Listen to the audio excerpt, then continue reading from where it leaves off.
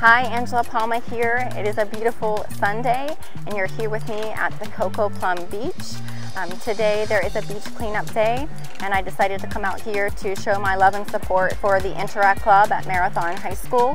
Um, they're so inspiring to me that these kids are so passionate about their environment that they're going to spend their Sunday morning out here cleaning up. So definitely here to show my support to them and you know to show my own family and my girls that everybody should pitch in and help out and clean up their environment. We live in such a beautiful community here and we have to keep it clean and safe. So um, enjoy the video and have a great day.